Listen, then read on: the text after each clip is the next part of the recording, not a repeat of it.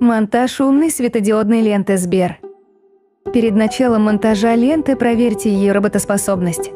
Подготовьте ленту, адаптер питания и контроллер. Поверните ленту и контроллер так, чтобы стрелки на разъемах находились напротив друг друга. Затем подключите ленту к контроллеру. Соедините контроллер и адаптер. Вставьте адаптер в розетку. Если все подключено верно, светодиоды загорятся.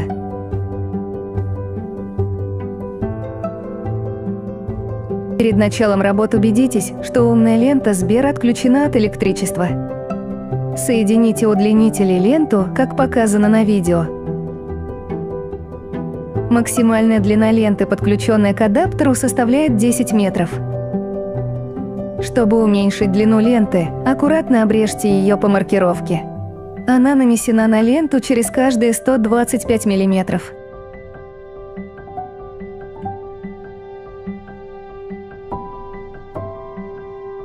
Перед тем, как приклеивать ленту, убедитесь, что она отключена от электричества. Очистите и обезжирьте поверхность, на которую будете крепить ленту. Снимите с ленты пленку. Приклейте ленту к поверхности. При приклеивании не сгибайте ленту под острым углом. Снова подключите ленту к контроллеру и адаптеру. Включите адаптер в розетку. Наслаждайтесь вашей умной лентой Сбер.